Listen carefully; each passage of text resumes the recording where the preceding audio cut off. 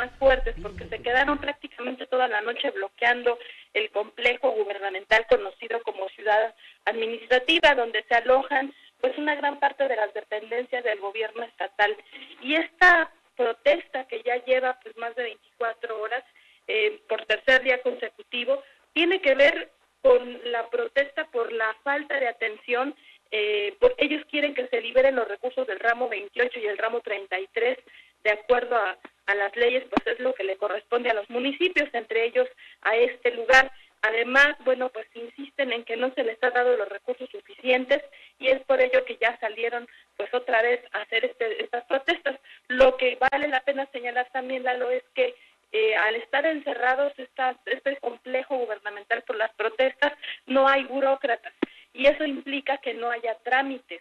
Eh, la mayoría de los trabajadores sindicalizados pues son de base y desde hace tres días dijeron a, nosotros no nos encierren y se salieron. De hecho hubo un enfrentamiento con palos, empellones, golpes para evitar que los dejaran encerrados. Y entonces, bueno, pues ahorita estamos sin burocracia porque están en, este, en esta situación. Y por otra parte, pues también ante la sequía y la falta de agua, también pobladores de Jalapa del Márquez, esto aquí el Istmo de Tehuantepec, pues también bloquearon la carretera que está a la altura de su comunidad, así que son parte de las movilizaciones del día de hoy.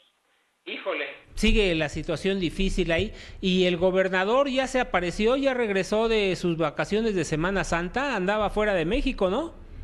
Pues sí, mira, fíjate que estuvo, digo, nos enteramos gracias a su Twitter de que está en varias localidades, estuvo en Estados Unidos, se fue con la CONAGO, que por cierto dejó plantados a los a los migrantes por allá en California, eh, pero también, bueno, pues ahorita nos informan que está en Teotitlán de Flores Magón porque como lo hemos comentado en tu espacio, las lluvias que cayeron torrenciales, por una parte seguían algunas zonas y en esta de Teotitlán, pues la granizada hizo que se ocasionaran pues muchos daños, como lo hemos informado, y este grupo eh, gubernamental encabezados por el por el mandatario estatal se encuentran haciendo gira por esta zona.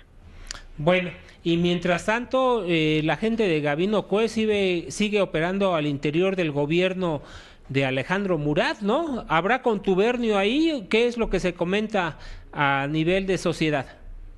Pues mira, fíjate que la, gran pregunta que se hacen muchos de los empresarios es dónde está la danza de los millones, tantos millones que se hablan de cuánto dejaron en deuda, dónde, para dónde se fueron y sobre todo cuándo se va no solamente investigar, sino a recuperar esta reactivación económica porque apenas en estos días, fíjate cuántos meses ya llevamos del mes y todavía no se ve la recuperación. Se habla de que a partir de esta semana algunos de los empresarios que están sumamente endeudados al punto de la quiebra, pues estarían recibiendo los primeros pagos que desde el gobierno de Gabino pues se quedaron pendientes. Así que pues vamos a estar pendientes también de ver qué tanto les están saldando esta deuda millonaria. Y tal vez no se impresiona uno después de Duarte en Veracruz, pero claro. Oaxaca no canta mal la Lalo. Sí, mira que eh, sobre todo en el caso de los eh, constructores, ¿no? De las empresas constructores en el estado de Oaxaca, donde no les han cubierto los pagos y las tienen a la borde de la quiebra, algunos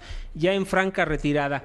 Eh, Gisela Ramírez, te agradezco muchísimo la información y sobre todo los comentarios.